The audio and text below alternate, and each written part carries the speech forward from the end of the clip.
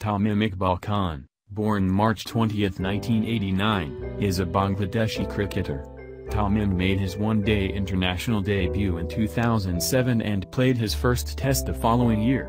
A left-handed opening batsman, he is the Bangladeshi's most successful run scorer to date.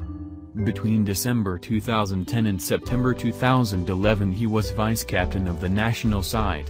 In 2011 he was named as one of Wisden Cricketer's Almanack's four Cricketers of the Year, and Wisden's Test Player of the Year, becoming just the second Bangladeshi player to be awarded the accolade.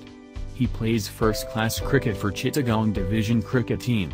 He is the highest individual run scorer for Bangladesh in all three formats and only Bangladeshi cricketer to score a century in all three formats of the game.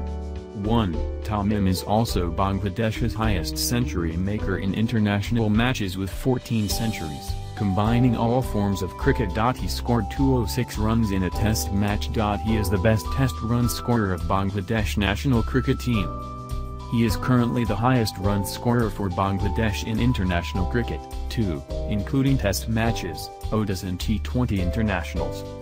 He is the second Bangladeshi cricketer to score 3,000 runs in tests and 4,000 runs in ODIs and also the first Bangladeshi cricketer to go past 1,000 runs in T20Is.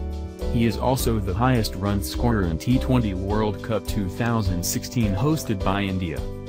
He was named an international elite player for the inaugural Caribbean Premier League in 2013. 13. Thank you for watching this video. If you like this video, please like, comment and subscribe. subscribe.